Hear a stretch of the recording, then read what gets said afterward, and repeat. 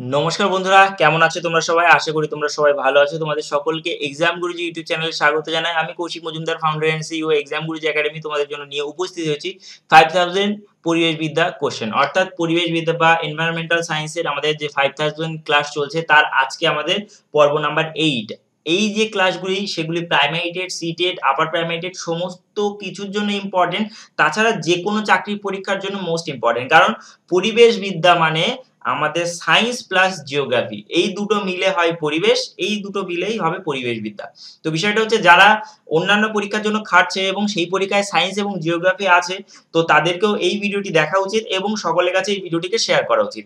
তোমরা যারা নতুন এসছো চ্যানেলে তাদেরকে বলে রাখি যে আমাদের চ্যানেলে মোস্ট ইম্পর্টেন্ট খুব দারুণ সুন্দরভাবে ক্লাস করানো হয় প্রাইমারি টেট এবং রেলওয়ে গ্রুপ ডি এবং এনটিপিসির জন্য। তো তোমরা যদি ক্লাস করতে চাও, তাহলে অবশ্যই ফ্রিতে আমাদের সাথে যুক্ত থাকো। আমাদেরকে সাবস্ক্রাইব করে রাখো এবং ভিডিও ভালো লাগলে তবেই ভিডিওটিকে লাইক করবে এবং সকলের কাছে শেয়ার করবে। চলো দেরি না করে শুরু করব আমাদের আজকে ENVS five thousand part eight by EGA বা এক্সাম গুরুজি একাডেমি পরিবেশ বিদ্যার প্রশ্নোত্তর পর্ব এইট তো চলুন দেরি না করে শুরু করি আমাদের আজকের ক্লাস বসুন্ধরা মহাসম্মেলন কোন দেশের কোন শহরে অনুষ্ঠিত হয়? যারা প্রাইভেট টেটের জন্য খাটছে, তারা এই কোশ্চেনটা পারবেই পারবে, আমি জানি।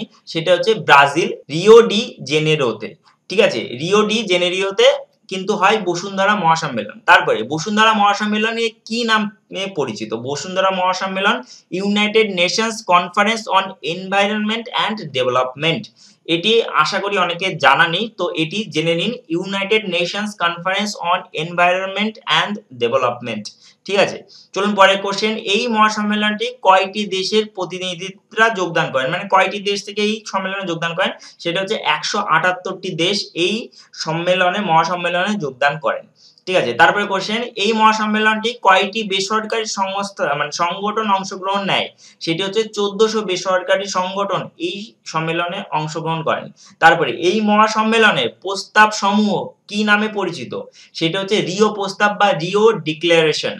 রিও প্রস্তাব বা রিও ডিক্লারেশন। তারপরে, স্থিতিশীল উন্নয়ন বিষয়ক শীর্ষ বৈঠক। কোন শহরে অনুষ্ঠিত হয়? স্থিতিশীল উন্নয়ন বিষয় বা সাস্টেইনেবল ডেভেলপমেন্ট ঠিক আছে? যেটি বলুন না কেন, সেটা হচ্ছে দক্ষিণ আফ্রিকার জোহানেসবার্গে, দক্ষিণ আফ্রিকার জোহানেসবার্গে। তারপরে কোশ্চেন সেটা হচ্ছে এই শীর্ষ বৈঠক কখন অনুষ্ঠিত হয়? সেটি হচ্ছে দু হাজার কুড়ি দু সালের ছাব্বিশে আগস্ট থেকে চৌঠা সেপ্টেম্বর, ছাব্বিশে আগস্ট থেকে চৌঠা সেপ্টেম্বর। তারপরে কোশ্চেন ভিয়েনা সম্মেলন কোন সালে অনুষ্ঠিত হয়? ভিয়েনা সম্মেলন অনুষ্ঠিত হয় উনিশশো পঁচাশি সালে। নাম দেখে বুঝতে পারছেন, ভিয়েনা সম্মেলন এটা হয় কিন্তু ভিয়েনাতে উনিশশো পঁচাশি সালে। গ্রিন বেঞ্চ কত সালে গঠিত হয়? গ্রিন বেঞ্চ হচ্ছে উনিশশো ছিয়াশি সালে গঠিত হয়। গ্রিন বেঞ্চ উনিশশো ছিয়াশি সালে গঠিত হয়।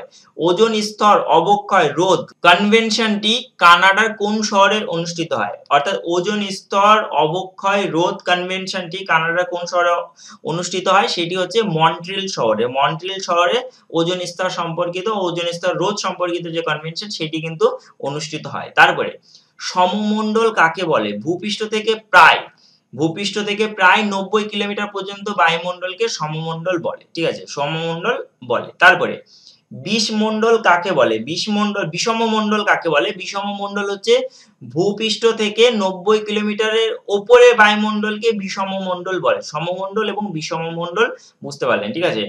নব্বই কিলোমিটারের ওপরে বায়ুমণ্ডলকে বিষমমণ্ডল এবং নব্বই কিলোমিটার মধ্যে বায়ুমণ্ডলকে সমমণ্ডল বলে। তারপরে, আইইউসিএন কি? আইইউসিএন হচ্ছে উনিশশো আটচল্লিশ সালে বন্য ও বন্য প্রাণী সংরক্ষণের উদ্দেশ্যে তেত্রিশটি দেশের এক আন্তর্জাতিক সম্মেলনে যে প্রতিষ্ঠানটি গড়ে ওঠে সেটি হলো আইইউসিএন আইইউসিএন ঠিক আছে? তো কি এটি? উনিশশো আটচল্লিশ সালে বন্য ও বন্যপ্রাণী সংরক্ষণের উদ্দেশ্যে তেত্রিশটি দেশের এক আন্তর্জাতিক সম্মেলন যেটি মানে কি সম্মেলনে একটি প্রতিষ্ঠান গড়ে ওঠে, সেই প্রতিষ্ঠানটির নাম হচ্ছে আইইউসিএন তারপরে ডাব্লিউডাব্লিউএফ কত সালে গঠিত হয়? ডাব্লিউডাব্লিউএফ গঠিত হয় উনিশশো একষট্টি সালে। তারপরে কোশ্চেন আমাদের দেশে বেতার প্রচার, সম্প্রচার বেসরকারিভাবে কবে শুরু হয়? সেটি হচ্ছে উনিশশো সত্তর সালে। উনিশশো সত্তর সালে বেতার প্রচার মানে সম্প্রচার বেসরকারিভাবে শুরু হয়। তারপরে, আমাদের দেশে বেতার সম্প্রচার সরকারিভাবে কবে শুরু হয়? আমাদের দেশে বেতার বেতার মানে হচ্ছে রেডিও। বেতার মানে হচ্ছে রেডিও এটি মাথায় রাখতে হবে। বেতার বেসরকারিভাবে কবে? উনিশশো সত্তর সালে এবং সরকারিভাবে উনিশশো সালে শুরু হয়। তারপরে আমাদের দেশে দূরদর্শন পরীক্ষামূলকভাবে কবে শুরু হয়? সেটি হচ্ছে উনিশশো উনষাট সালে, উনিশশো উনষাট সালে। তারপরে উনিশশো আটচল্লিশ সালে বন বিভাগের নাম বদল করে কি নাম রাখা হয়? উনিশশো আটচল্লিশ সালে বন বিভাগের নাম বদল করে রাখা হয় ওয়েস্ট বেঙ্গল ফরেস্ট ডিভিশন। মানে আমাদের পশ্চিমবঙ্গের বন বিভাগের নাম পরিবর্তন করে রাখা হয় West Bengal forest division. Arabari Indira Vrikshamitra পুরস্কার মানে কোন সালে পায়? আরাবাড়ি ইন্দিরা বৃক্ষমিত্র পুরস্কার কোন সালে পায়? সেটি হচ্ছে উনিশশো সাতাশি সালে, উনিশশো সাতাশি সালে। তারপরে, আন্তর্জাতিক পরিবেশ দিবস কোন তারিখে পালিত হয়? সেটি আমরা সবাই জানি, এই মাসের পাঁচই জুন, অর্থাৎ পাঁচই জুন পালিত হয়। তারপরে, প্রথম ব্লাড ব্যাংক স্থাপিত হয়েছিল কত সালে? সেটি হচ্ছে উনিশশো ছত্রিশ সালে প্রথম ব্লাড ব্যাংক স্থাপিত হয়। তারপর পরীক্ষামূলকভাবে যৌথ বন সংরক্ষণ কাজ শুরু হয়। কত সালে? মানে কোথায় শুরু হয়? সেটি হচ্ছে মেদিনীপুর জেলার আড়াবাড়িতে মেদিনীপুর জেলার আড়াবাড়িতে যৌথ বন সংরক্ষণ। এটি কিন্তু প্রাইমারি টেটে এসেছিল, এটি কিন্তু মোস্ট ইম্পর্টেন্ট এটি কিন্তু প্রাইমারি টেটে এসেছিল। তারপরে কোশ্চেন কত সালে ভারত সরকার বন্যপ্রাণী সংরক্ষণ আইন চালু করে? সেটি হচ্ছে উনিশশো বাহাত্তর সালে, উনিশশো বাহাত্তর সালে। তারপরে সাইলেন্ট ভ্যালি কোন রাজ্যে অবস্থিত? সাইলেন্ট ভ্যালি কেরলে অবস্থিত। সাইলেন্ট ভ্যালি কেরলে অবস্থিত। তারপরে রক্তে শ্বেত কণিকার গড় আয়ু কতদিন? সেটি হচ্ছে সাত থেকে বারো দিন। শ্বেত কণিকার গড় আয়ু সাত থেকে বারো দিন। ক্লোনিং নিয়ে গবেষণা কত সালে শুরু হয়? সেটি হচ্ছে উনিশশো পঞ্চাশ সালে ক্লোনিং নিয়ে গবেষণা শুরু হয়। অর্থাৎ ক্লোন তৈরি। মানে একজনের দেহ থেকে আরেকজনের দেহ একই ধরনের দেখতে ক্লোন তৈরি। ঠিক আছে? ভূপালে গ্যাস দুর্ঘটনাটি কোন সালে মানে কি, কোন সালে কত তারিখে ঘটে? সেটি হচ্ছে উনিশশো চুরাশি সালে তেসরা ডিসেম্বর। উনিশশো চুরাশি সালে তেসরা ডিসেম্বর। কিসের মধ্যে ইনসিটু সংরক্ষণ করা হয়? সেটি হচ্ছে ন্যাশনাল পার্কের মধ্যে ইনসিটু সংরক্ষণ করা হয়। ইনসিটু এটি মাথায় রাখতে হবে ইনসিটু সংরক্ষণ ন্যাশনাল পার্কের মধ্যে করা হয়। তারপরে কিসের মাধ্যমে এক্সিটু সংরক্ষণ করা হয়? সেটি হচ্ছে চিড়িয়াখানার মাধ্যমে এক্সিটু সংরক্ষণ করা চিড়িয়াখানা এক্সিটু এবং ইনসিটু হচ্ছে আমাদের যে ন্যাশনাল পার্ক সেখানে। তারপরে, ভোপাল গ্যাস দুর্ঘটনা কোন গ্যাস লিক করে হয়েছিল? সেটি হচ্ছে মিক গ্যাস বা মিথাইল আইসোসায়ানেট। মিকের পুরো নাম কি? আমরা দেখলাম, মিথাইল আইসোসায়ানেট। মিথাইল আইসোসায়ানেট হচ্ছে মিক গ্যাসের পুরো নাম। তারপরে, মিনামাটা দুর্ঘটনা কোথায় ঘটেছিল? মিনামাটা দুর্ঘটনা ঘটেছিল জাপানে। চেরনোবিল দুর্ঘটনা কোথায় ঘটেছিল? এটি হচ্ছে রাশিয়ায়। চেরনোবিল দুর্ঘটনা ঘটেছিল রাশিয়ায়। তারপর চেরনোবিল পারমাণবিক বিদ্যুৎ কেন্দ্রটি কোথায় অবস্থিত? রাশিয়ার ইউক্রেনে রাশিয়ার ইউক্রেনে অবস্থিত। তারপরে চেরনোবিল দুর্ঘটনা কোন সালে, কত তারিখে ঘটে? সেটি হচ্ছে উনিশশো ছিয়াশি সালের ছাব্বিশে এপ্রিল, উনিশশো ছিয়াশি সালে ছাব্বিশে এপ্রিল। তারপরে প্যান কথাটির অর্থ কি? প্যান কথাটির অর্থ হচ্ছে পারক্সি অ্যাসিডোনাইট্রাইড পারক্সি অ্যাসিডোনাইট্রাইল ঠিক আছে? প্যান, পারক্সি অ্যাসিডোনাইট্রাইল তারপরে, অ্যাসিড বৃষ্টির সংকেতের নাম লেখো। অ্যাসিড বৃষ্টির সংকেতের নাম হচ্ছে, সেটি হচ্ছে টু ফোর ডি। তারপর, একটি নন ডিগ্রেডেবল বায়ু দূষকের উদাহরণ কোনটি? নন ডিগ্রেডেবল হচ্ছে ডিডিটি মানে এটি কিন্তু পরিবেশের সাথে মিশে যায় না ডিডিটি ঠিক আছে? অনেক বছর থাকে। তারপরে, প্যারাথিয়ান কোন কাজে ব্যবহার হয়? প্যারাথিয়ান ব্যবহার হয়, প্যারাথিয়ান মানে পতঙ্গ বিনাশী রূপে ব্যবহার হয়। প্যারাথিয়ান পতঙ্গ বিনাশী রূপে ব্যবহার হয়। তারপরে পান মশলায় সুপারিতে রং করতে কি ব্যবহৃত হয়? সেটি হচ্ছে অ্যারাকোলিন। অ্যারাকোলিন ব্যবহৃত হয়। তারপরে টু ফোর ডি, এর নাম কি? এটি হচ্ছে two four di chloro phenoxy acetic acid. Two four dichlorophenoxy acidic acid. তারপরে একটি ছত্রাক নাশকের উদাহরণ কোনটি? একটি ছত্রাক নাশকের উদাহরণ হচ্ছে টু ফোর ফাইভ টি ঠিক আছে? টু ফর্টি ফাইভ টি তারপরে ব্ল্যাক ফুড ডিজিজ এর জন্য কি দায়ী? ব্ল্যাক ফুড ডিজিজের জন্য দায়ী হচ্ছে আর্সেনিক আমরা সবাই জানি ব্ল্যাক ফুড ডিজিজের জন্য দায়ী। তারপরে আর্সেনিক দূষণের ফলে মানবদের সৃষ্টি রোগের নাম কি? সেটি হচ্ছে আর্সেইনিকোসিস আর্সেইনিকোসিস ঠিক আছে? তারপরে আর্সেনিক কোন এনজাইমকে নিষ্ক্রিয় করে? সেটি হচ্ছে ডাইহাইড্রো লিপোএল ডাইহাইড্রোজিনেস ডাইহাইড্রো লিপোএল ডাইহাইড্রোজিনেস এই এনজাইমকে নিষ্ক্রিয় করে। তারপরে ক্যাডমিয়ামের উপস্থিতিতে মানব শরীরে কোন কোন অঙ্গ নষ্ট হয়? ক্যাডমিয়ামের উপস্থিতিতে মানব শরীরে কিডনি এবং ফুসফুস নষ্ট হয়। তারপরে, ইটা ইটাই কি? ইটা ইটাই হচ্ছে ক্যাডমিয়াম বিষক্রিয়ায়। জাপানের জিন্টুস নদীর উপত্যকায় আদিবাসীদের এই রোগ হয়। তার নাম হলো ইটাই ইটাই রোগ। ইটাই ইটাই রোগ কিসের জন্য হয়? ক্যাডমিয়ামের উপস্থিতিতে হয়। ঠিক আছে? ক্যাডমিয়ামের বিষ মানে বিষক্রিয়ায় হয়। এটি মাথায় রাখবেন। তবে ইটাইটাই প্রথম কোথায় ধরা পড়ে? সেটি হচ্ছে সুইডেনে।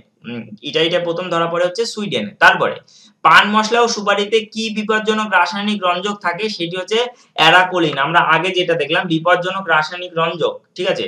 তো এটি হচ্ছে অ্যারাকোলিন। তারপর আইসক্রিম বোদে, ডাল প্রভৃতি যে অনুমোদিত ক্যান্সারের উৎস বা মেটালিক ইয়েলো রং কি, ঠিক আছে? আইসক্রিমে বোদেতে, ডালেতে যে অনুমোদিত ক্যান্সারের উৎস বা মেটালিক ইয়েলো রং কি আসলে? সেটি হচ্ছে কোলটার রং কোলটার রং মানে সেখানে যে মানে সেটি ক্যান্সার উৎপন্ন করে সেই রংগুলি। বোদেতে আমরা যে বোদে খাই, তারপরে হচ্ছে আইসক্রিম খাই, হুম? তো এখানে যে ইয়েলো কালার বা আমাদের যে হলুদ কালার সেটা হচ্ছে কোল্টার রং বলে, সেটা কোল্টার রং বলে। তো টোটাল পঞ্চাশটি কোশ্চেন আজকে আমরা করলাম। আমাদের সাথে শেষ অবধি যুক্ত থাকার জন্য আপনাদের সকলকে ধন্যবাদ ও অভিনন্দন। আমাদের সাথে শেষ অবধি যুক্ত থাকলে অবশ্যই আপনারা চাকরি পেতে বাধ্য হবেন।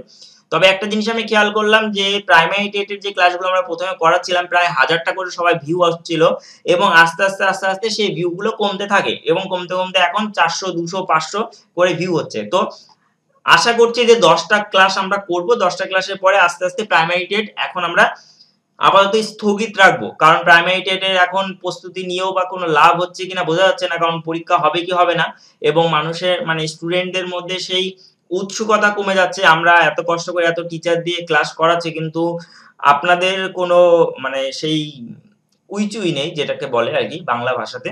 মানে ঠিক সেরকম মানে রেসপন্স পাচ্ছে না। মানে রেসপন্সটা কখন পাবো? যখন ভিউজ আসবে, যখন শেয়ার করবেন, যখন মানে কনগ্রাচুলেট করবেন ভিডিও দেখে কমেন্টস করে জানাবেন কেমন লাগল, কোন পোর্শনটা ভালো লাগল, কোন পোর্শনটা বুঝতে পারলেন না, কিংবা ভিডিওটিকে লাইক করবেন, তখন বুঝতে পারব। তবে ভিউজের পরিমাণ অত্যাধিক কম। আপাতত আমার চ্যানেল মাঝখানে অনেকদিন আমি ভিডিও করতে বন্ধ করে রেখেছিলাম দু হাজার উনিশ সালে।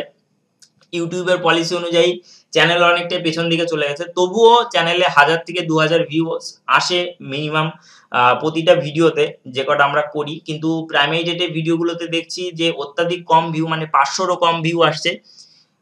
মোটামুটি যেটা হচ্ছে আমাদের পরিবেশ বিদ্যাটাতে প্রায় হাজারটার কাছাকাছি ভিউ আসছে। আগে পরিবেশ বিদ্যাগুলো দেড় হাজার, দু হাজার করে ভিউ আসছিল। কিন্তু এখন তাও আসছে না, প্রায় হাজারটার কাছাকাছি আসছে কিন্তু কম আসছে।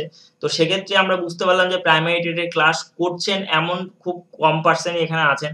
হয়তো বা খুলছেন, খুলে বেরিয়ে যাচ্ছেন। তাও প্রচুর পরিমাণ আমরা শেয়ার করছি। আপনারা কেউ কেউ শেয়ার করছেন, তার জন্য হয়তো বা ভিউজ আসছে। তো আমরা সিদ্ধান্ত নিয়েছি যে দশটা করে ক্লাস করার পরে আপাতত প্রাইমারি টেটের ক্লাস বন্ধ রাখছি। আপাতত রেলওয়ে গ্রুপ ডি এবং এনটিপিসির প্রস্তুতি চলবে। প্রাইমারি টেটের যদি কোনো কোনো কিছু শোনা যায় মানে রাজ্য সরকার যদি ঘোষণা করেন যে পরীক্ষা নেবে, সেক্ষেত্রে আমরা আবার শুরু করব এই চিন্তা ভাবনাতে রয়েছে। তো আজকের জন্য এই পর্যন্তই। ভিডিও ভালো লাগলে অবশ্যই ভিডিওটিকে লাইক করুন শেয়ার করুন।